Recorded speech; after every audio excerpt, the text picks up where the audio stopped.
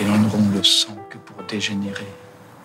Quand nous avons perdu le jour qui nous éclaire, cette sorte de vie est bien imaginée.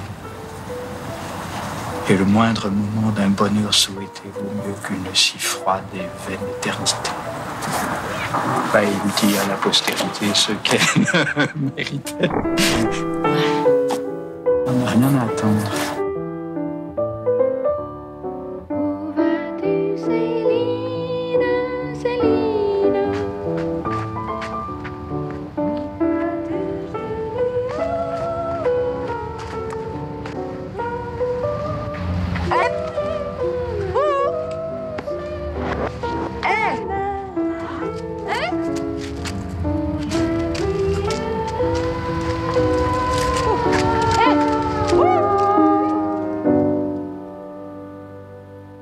Souvent, ça a commencé comme ça. Nous sommes en haut de la colline Montmartre, au zénith de Paris, dans le square Suzanne Buisson.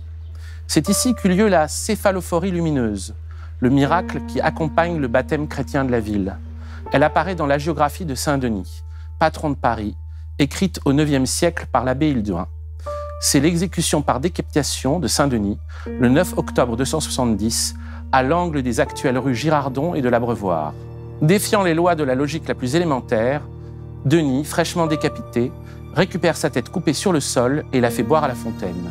Puis il marche, tête coupée sous le bras, pendant 6 kilomètres jusqu'à la ville qui porte aujourd'hui son nom. La fontaine est toujours là aujourd'hui, dans le square Suzanne Buisson, mais nous ne la verrons pas dans le film dont nous nous apprêtons à parler. Comme nous ne verrons pas non plus la statue de Saint-Denis qui la domine, sa tête coupée entre les mains. Mais nous pourrons sentir sa présence, ou plutôt la présence de son absence, la présence de son remplacement. Car Céline et Julie vont en bateau est un nouveau baptême de Paris. Et c'est beaucoup plus encore. C'est à la fois la date de naissance du nouvel ère et le rappel d'un combat très ancien. Une guerre qui a commencé il y a plusieurs milliers d'années. Céline et Julie vont en bateau est un manifeste. C'est un film de magie opérative qui va changer la vie. À chaque fois qu'on le voit, il nous regarde. À chaque fois qu'on le convoque, il exorcise une à une toutes les forces qui tentent de nous paralyser dans notre détermination. Céline et Julie vont en bateau n'est pas seulement un des plus beaux films du monde, c'est un talisman ayant pris vie. Bienvenue dans la fin du film, épisode 9, Céline et Julie vont en bateau de Jacques Rivette. Cette fois-ci, ça ne se passera pas comme ça.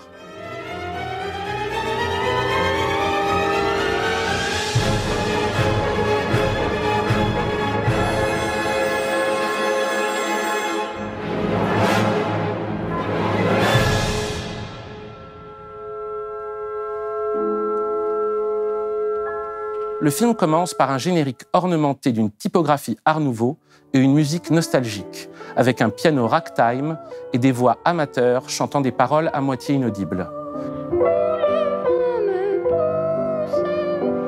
Céline et Julie vont en bateau a un sous-titre, peut-être un deuxième titre, Phantom Ladies Over Paris. On voit apparaître un premier carton rappelant l'esthétique des films muets. Le plus souvent, ça commençait comme ça. Le plus souvent, donc, ça commence Square Suzanne Buisson, tenant dans une main le traité méthodique de magie pratique de Papus, un occultiste français de la fin du XIXe siècle, une jeune femme rousse trace un pentacle sur le sable. Soudain, une autre femme apparaît, brune, aux vêtements colorés, avec un boa de music hall. Elle fait tomber ses lunettes de soleil. La rousse ramasse les lunettes et se met à poursuivre la brune, qui se met subitement à courir sur l'allée des brouillards.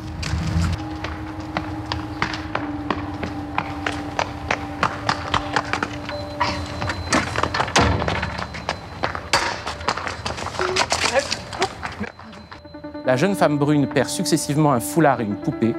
Elle prend le funiculaire et se rend en haut de la rue du Calvaire, dans un petit théâtre où elle officie comme magicienne.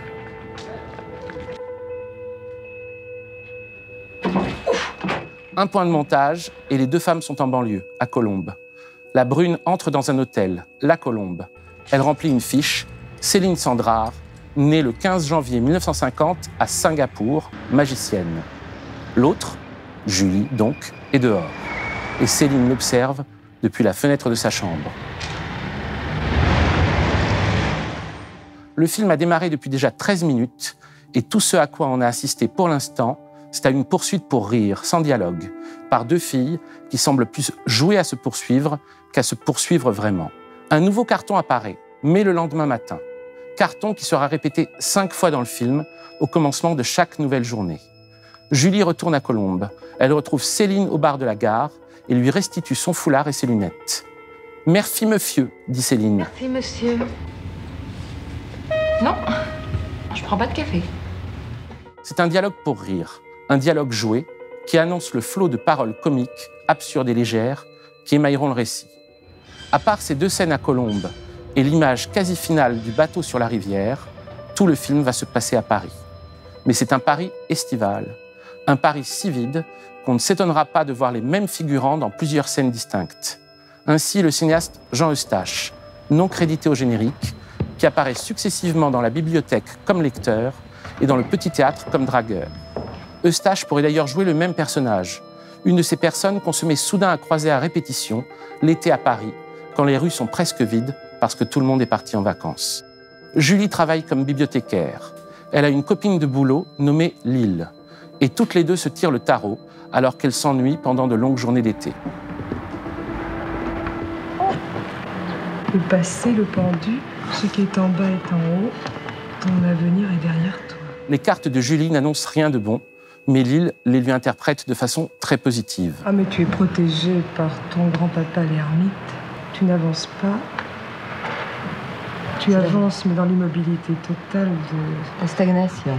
la stagnation triomphante. À la différence de sa collègue, Julie ne se raconte pas d'histoire. Ses cartes sont mauvaises, son avenir est pourri. Elle est confinée à sa bibliothèque et elle s'est visiblement résignée à une existence morne et terne.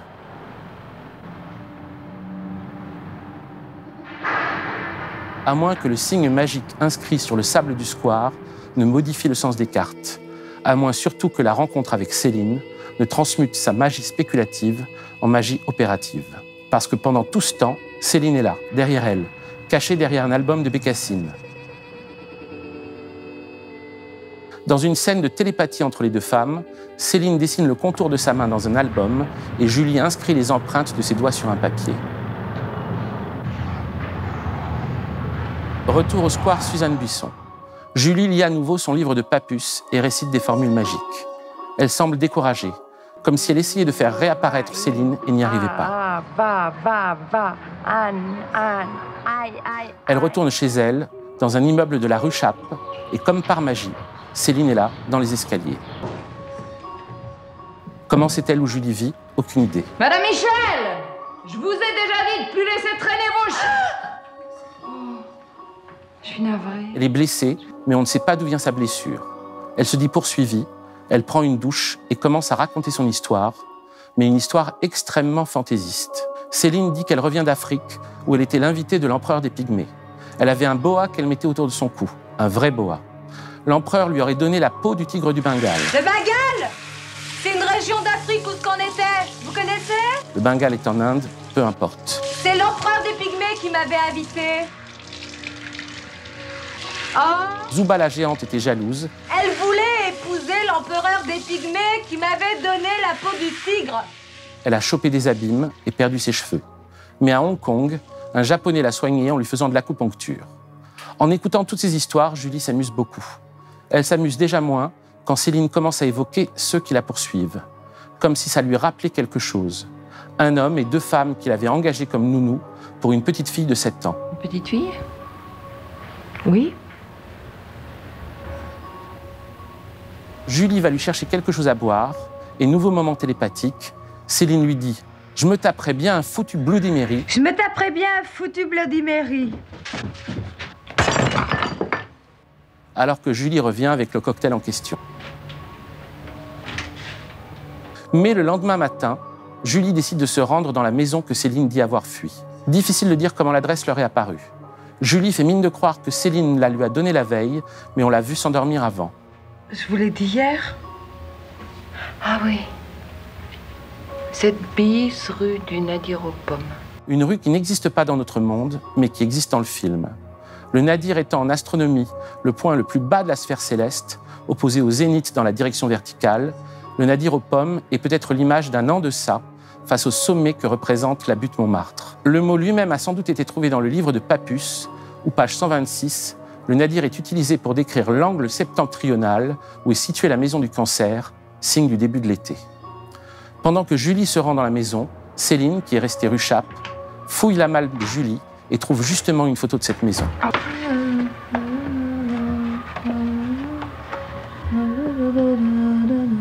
Julie est expulsée de la maison du 7 bis rue du Nadir aux Pommes qui se referme derrière elle. Choquée, elle sort un bonbon orange de sa bouche et le range dans un mouchoir, tout en se rendant en taxi au petit théâtre de la rue du Calvaire. Pendant le spectacle de la Mandragore, Julie a des flashs de ce qu'elle a vécu dans l'après-midi. Une femme blonde regarde sa main blessée ou arrange des fleurs. Une femme brune retourne une poupée ou s'approche de la blonde qui se regarde dans le miroir. Une infirmière qui ressemble à Julie boit du whisky tiré d'une petite fiole et se débat avec la blonde. Une fois rentrée, Julie croque dans le bonbon et revoit des séquences plus longues de cette histoire, mais toujours dans le désordre. Je vois. Mais tu vois quoi? C'est l'histoire d'un veuf, de sa fille et de ses deux prétendantes. On n'a pas le droit de faire jurer une chose pareille. Peut-être. Mais je suis le témoin de ce vœu, j'en suis la garante. Le veuf, c'est Olivier, en deuil depuis un an de Nathalie, la mère de la petite Madeleine. Il prend plaisir à séduire et à dominer deux jeunes femmes, Sophie et Camille. Elles rivalisent en séduction pour le conquérir, mais il se refuse à elle par fidélité au vœu de sa femme, qui ne voulait pas que Madeleine connaisse la souffrance du remariage. Pendant que Julie revit les scènes de la journée, Céline est morte de rire, jusqu'au moment où elle voit une main rouge imprimée sur le dos de Julie.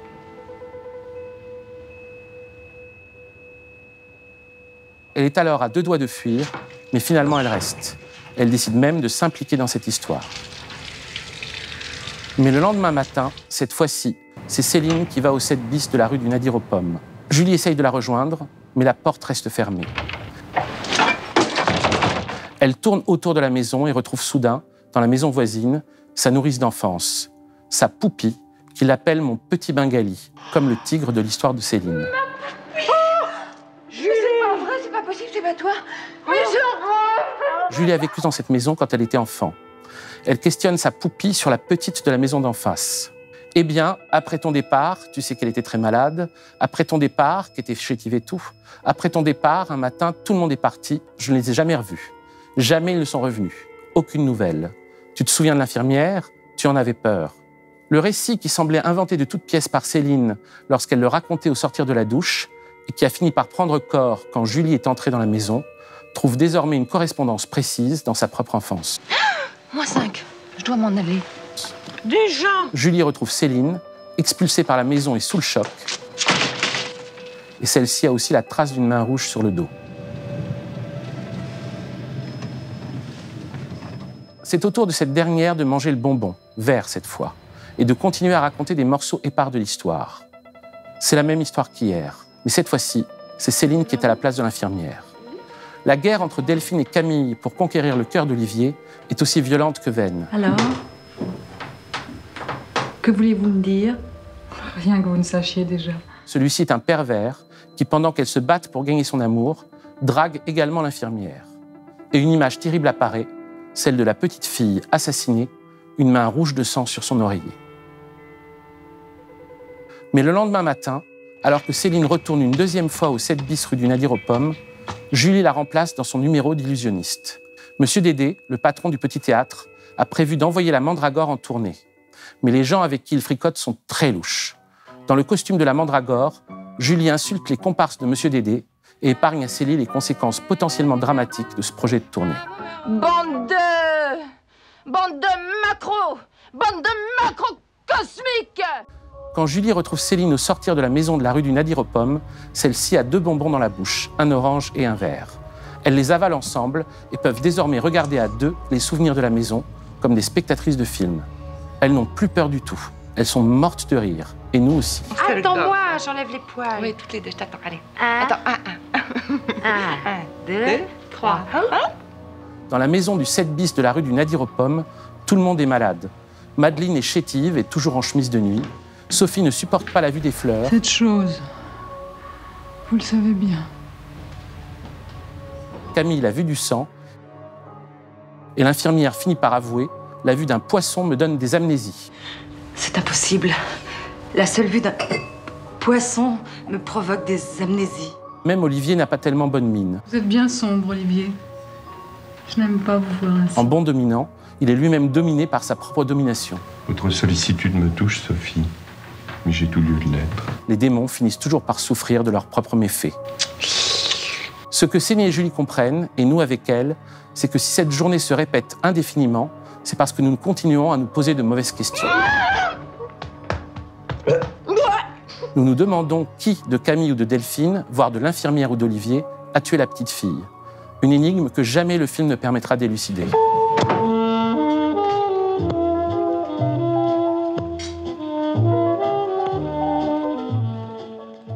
Céline et Julie se posent alors la bonne question, la question révolutionnaire comment sauver la petite fille? Il faut à tout prix la sauver, cette môme. Et elles s'endorment après s'être dit cette fois, ça ne se passera pas comme ça. Il était que cette fois, ça ne se passera pas comme ça.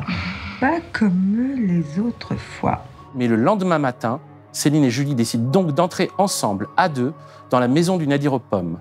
Elles se préparent, elles font de nombreux rituels magiques, placent leurs doigts des yeux de bébés dinosaures et elles entrent lucides dans la maison. Elles fichent un bazar sans nom, ridiculisent les fantômes,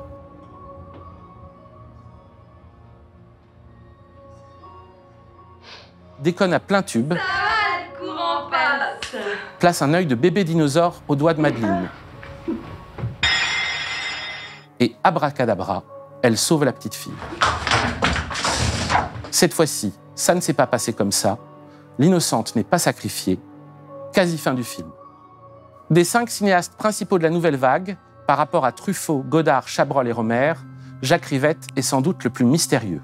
C'est celui qu'on connaît le moins. Il est né en 1928 à Rouen, il arrive à Paris en 1950 et commence très vite à écrire des articles dans des revues de cinéma. Dans le bulletin du Ciné-Club du Quartier Latin d'abord, en mars 1950, avec un article qui a un véritable coup d'envoi, Nous ne sommes plus innocents. Dans celui-ci, Rivette oppose le cinéma des pionniers à celui de leurs successeurs, qui transformèrent l'expérience cinématographique initiale en code et en stéréotype, et perdirent ainsi le sens de l'univers. Il participe ensuite à la Gazette du cinéma. Son premier article est un éloge de la période américaine de Jean Renoir. Et celui-ci lui permet une tentative de définition du cinéma de Renoir qui semble rétrospectivement une anticipation du sien. Un présent ontologique où tout apparaît, saisi à l'instant même de son apparition, en une incessante dilatation de l'instant. L'instant est capté aux sources, l'univers à sa naissance même. Le cinéma de Renoir est pour Rivette la victoire de l'innocence, une conclusion qui répond au titre de son premier texte et en conjure le fatalisme dans un premier geste dialectique ou magique, puisque Céline et Julie sera aussi, à sa manière, une victoire de l'innocence. Pendant 16 ans, de 1953 à 1969, Rivette rédige ses textes critiques principaux dans les cahiers du cinéma. Il réalise un premier court-métrage en 1956, Le coup du berger. Et puis, c'est Paris nous appartient, son premier long métrage, qui sort en 1961.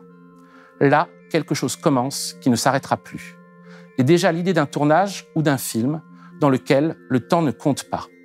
On verra cette ambition prendre une forme beaucoup plus décisive dans son troisième long métrage, L'amour fou, en 1968.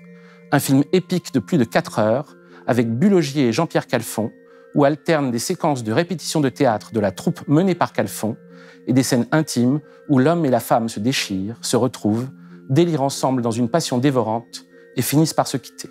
Puis c'est Out 1, dans lequel deux marginaux, joués par Jean-Pierre Léo et Juliette Berthaud, enquêtent parallèlement sur une société secrète inspirée par l'histoire des tresses de Balzac et présente dans le Paris des années 70. D'une durée de 13 heures, Out 1 ne bénéficie alors que d'une projection unique dans sa version originale, au Havre, les 9 et 10 octobre 1971. Céline et Julie vont en bateau est son cinquième long métrage.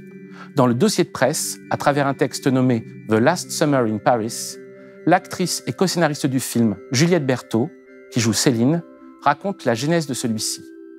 Le cinquième film de Jacques Rivette devait initialement être un film nommé Phoenix, situé en 1895, avec Jeanne Moreau dans le rôle de Déborah, une actrice inspirée par Sarah Bernard, et Juliette Berthaud dans le rôle de la jeune Constance. Il devait aussi y avoir Michael Lonsdale, Alain Cuny et Pierre Clémenti, et c'était un film fantastique. Mais le scénario était truffé d'allusions politiques, tant aux anarchistes, Caserio, Ravachol, Bakounine, qu'à la grève de fourmis ou à la montée de l'antisémitisme. Le scénario sera publié en 2002 à l'initiative d'Hélène Frappa dans le recueil Trois films fantômes. Les capitaux nécessaires n'étant pas réunis et les autres acteurs ayant trouvé des engagements ailleurs, Jacques Rivette et Juliette Berthaud se retrouvent au commencement d'un nouvel été comme deux orphelins dans la ville, dira-t-elle. Jacques et Juliette sont en bateau. Qu'à cela ne tienne, ils vont faire un film sur des personnes qui restent à Paris en été. Nous sommes en 1973. Qu'est-ce qui distingue quelqu'un qui reste à Paris en été de quelqu'un qui part en vacances? C'est la question que pose Charles Péguy en octobre 1910 dans Victor-Marie Contugo, un de ses livres les plus bizarres. Victor-Marie Contugo se donne comme une lettre ouverte à son ami Daniel Alévi suite à une brouille entre les deux hommes. Mais il bifurque progressivement dans une méditation sur Victor Hugo et le nom de pays inventé par celui-ci dans le poème Bouse endormie, Géry Madette, puis il bifurque encore dans une analyse des différences entre les styles et les personnalités de Corneille et de Racine. Enfin, il s'achève par l'annonce de la création de deux partis politiques, le Parti des hommes de 40 ans et le Parti de ceux qui restent à Paris en été. Peggy explique alors longuement la spécificité de ceux qui restent à Paris en été. Paris n'appartient pas seulement à ceux qui se lèvent matin, écrit Peggy, et qui ainsi préparent, avant qu'on soit levé, la campagne, la bataille, la victoire de la journée, la journée même. Comme on disait, la journée a été bonne, la journée a été mauvaise, la journée a été gagnée, la journée a été perdue. Heureux temps où les batailles étaient des journées. À ceux qui montent la journée devant le soleil levé. Cela, c'est le vieux jeu, toujours bon, le premier jeu, l'ancien, le vieux Balzac, toujours jeune. Voici le perfectionnement, le deuxième degré, le deuxième jeu. Paris appartient à ceux qui, pendant les mois d'été, préparent la campagne d'hiver. Puis Peggy dit alors à Alévi que si tous deux font partie du premier parti, son ami n'est pas qualifié pour faire partie du second. Il ne fait pas partie de ceux qui restent à Paris en été. Victor-Marie Contugo a eu beaucoup d'importance pour Jacques Rivette. Il a inspiré jusqu'au titre de son premier long métrage, Paris nous appartient, comme l'exergue qui ouvre celui-ci, Paris n'appartient à personne. En 1990, dans Le Veilleur, l'épisode de cinéaste de notre temps qui lui est consacré, Serge Danet l'interroge sur ce premier film. Mais Paris nous appartient, il y a le mot appartenir. Qu'est-ce qui t'appartient à toi?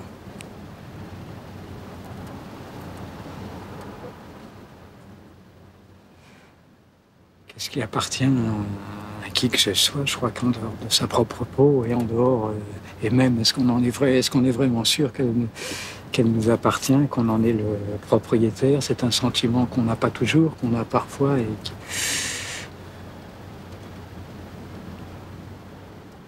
Parce que tu as fait des films, on peut dire, bon, ton œuvre t'appartient, mais même ça, est-ce que tu le Non, dirais? Ça, ça n'appartient pas. Ça n'appartient pas. C'est, c'est au contraire que s'il y a quelque chose dont on est euh, dépossédé, euh, si j'ose dire, c'est, c'est bien les, les choses qu'on, a faites, qu'on croit avoir faites. C'est des choses qui ne nous appartiennent jamais, ni avant, ni pendant, ni après.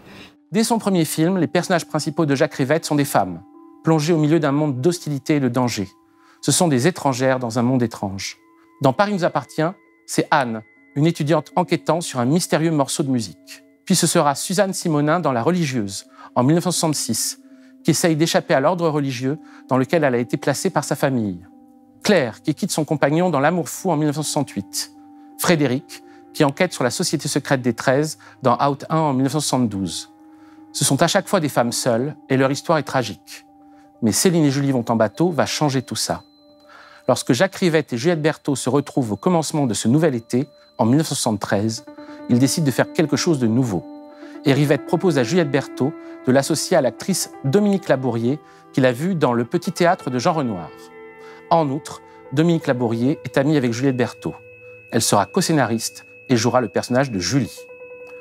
Toujours dans The Last Summer in Paris, Juliette Berthaud évoque les séances d'écriture. Nous lancions dans l'air liquéfié les premières planches d'un radeau qui allait, au gré du temps et du courant, se transformer en bateau de plaisance, en galère et en sous-marin vert, pour terminer dans une barque de l'éternel retour qui aurait croisé le bateau pirate des révoltés du Bounty dans les eaux calmes et coléreuses du fleuve sauvage qui aurait pu être le Styx. Juliette Berthaud et Dominique Labourier écrivent l'histoire de leurs personnages ensemble, puis Rivette leur associe un co-scénariste, Eduardo Di Gregorio.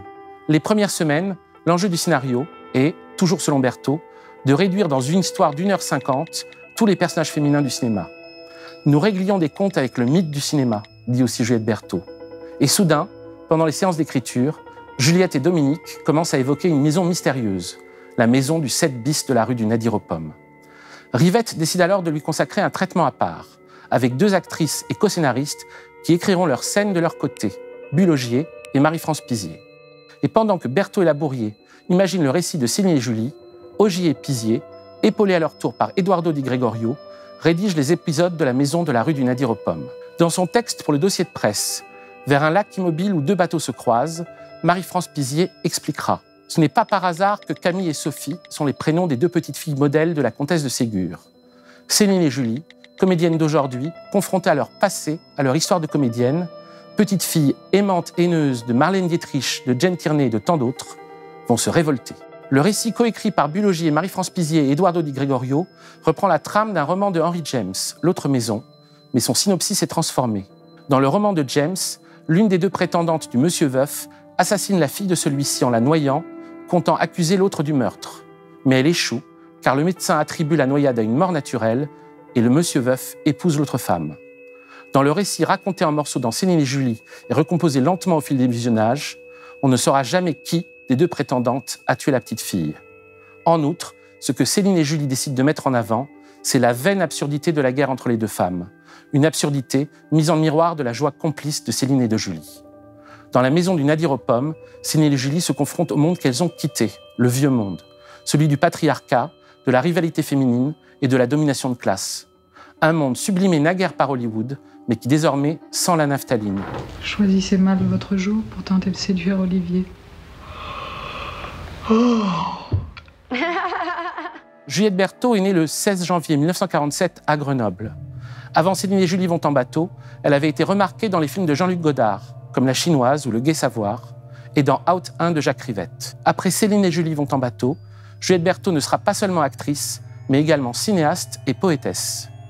C'était annoncé à la fin de son texte du dossier de presse, The Last Summer in Paris. Après avoir évoqué ces deux maîtres, Godard, le savant fou qui a ouvert ma voie cinématographique, et Rivette, le magicien, Last Samurai, Juliette Berthaud écrit je n'ai plus ni Dieu ni maître.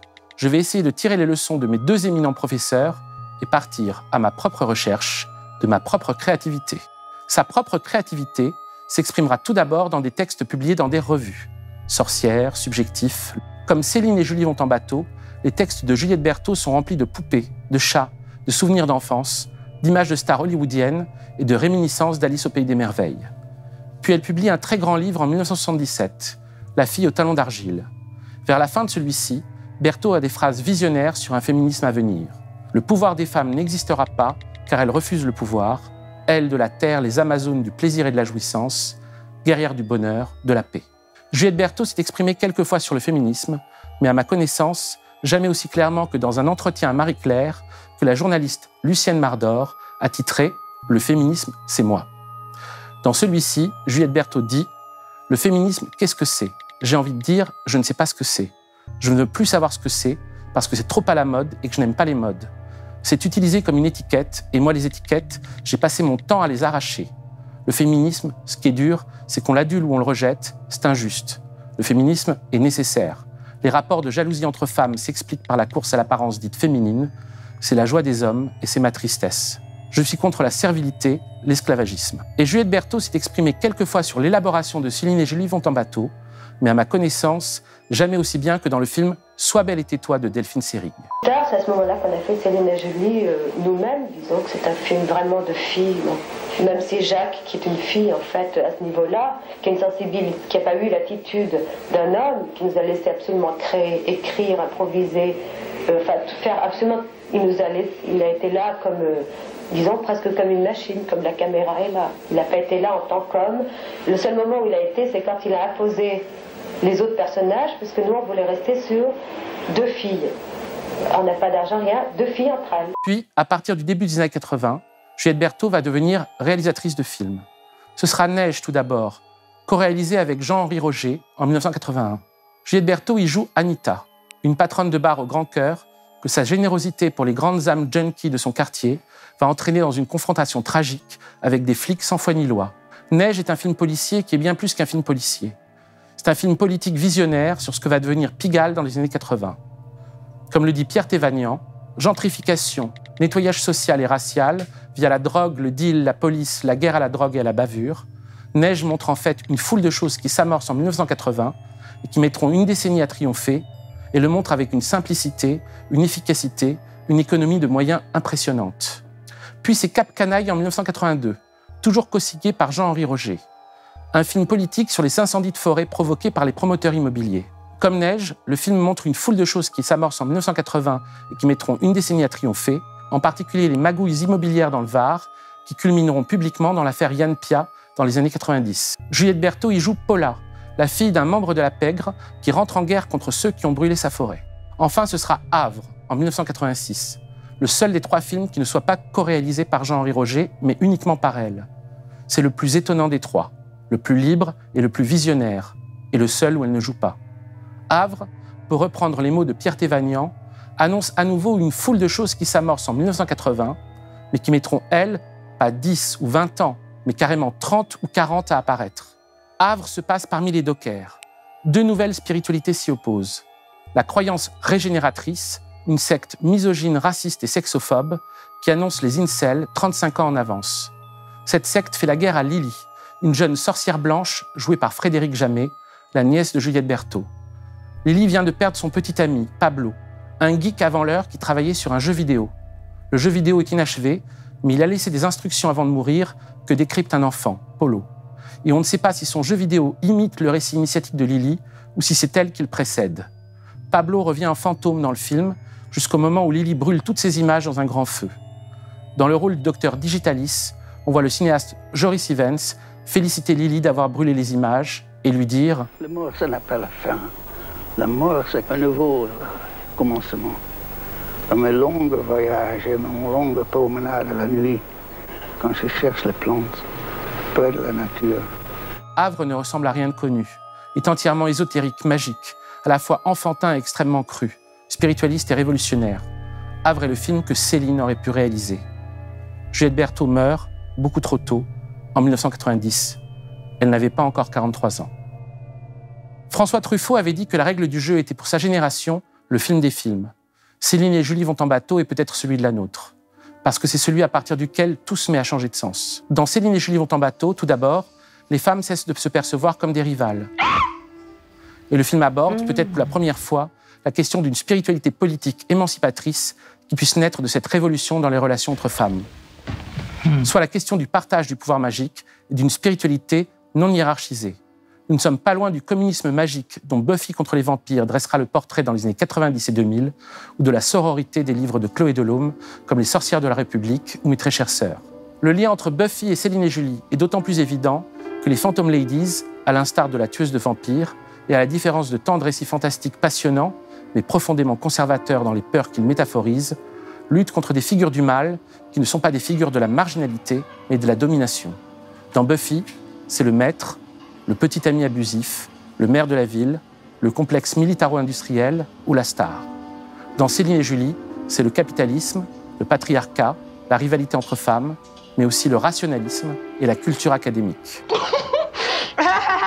Un autre point commun entre Buffy et Céline et Julie est la place du rire. Comme les zombies de la rue du Nadir aux pommes, les vampires et les démons de Buffy ont la rigidité intellectuelle des pasteurs évangéliques ou des militants républicains, et leurs disciples sont souvent des moines ou des prêtres.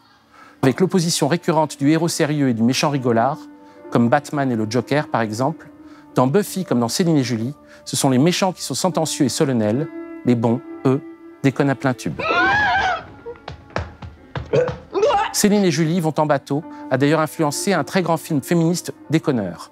Miso et Mazo vont en bateau, réalisé en 1976 par une sororité composée de Carole Roussopoulos, Delphine Serig, Johanna Weder et Nadja Ringard.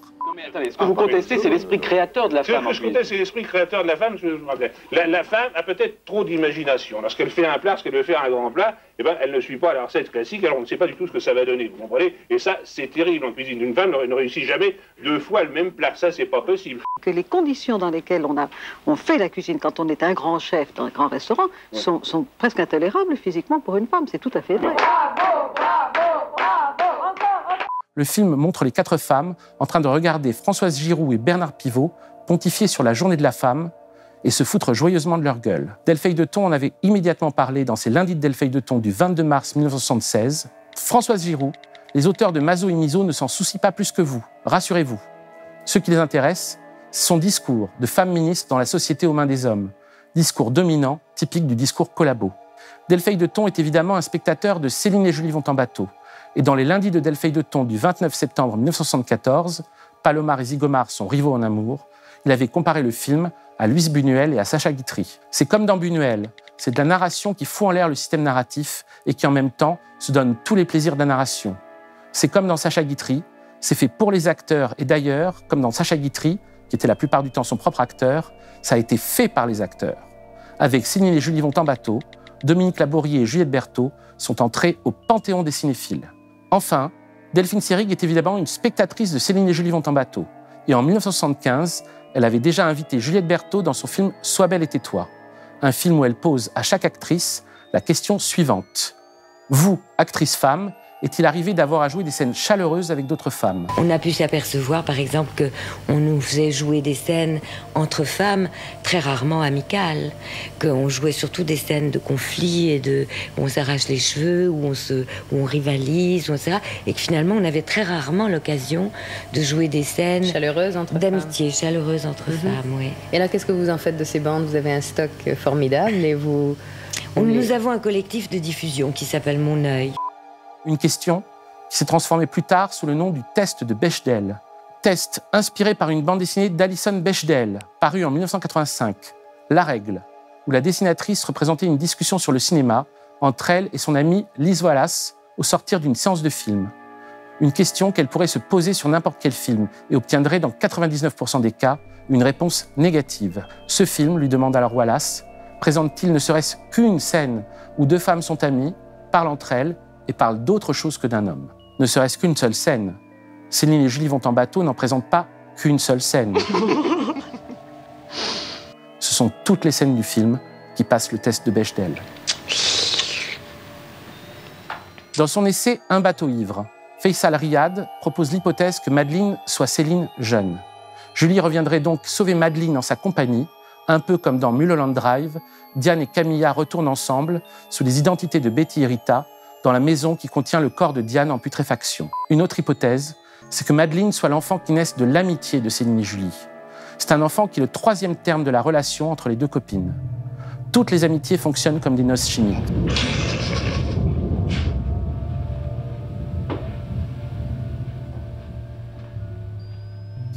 Julie, c'est le souffle, le fixe, la lenteur, la rugosité de la réalité matérielle, mais également sa force, d'où son association au tigre du Bengale.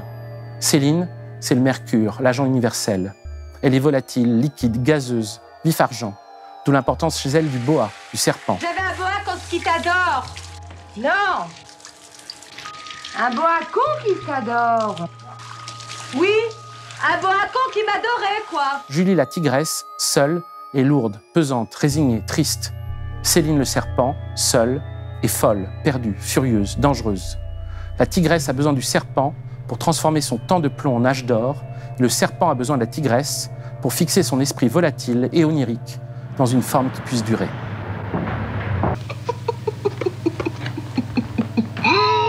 Et Madeleine est le produit de leurs noces. En sauvant la petite fille, Céline et Julie sauvent non seulement leur amitié, mais elles transforment leur réalité en ressuscitant leur enfance.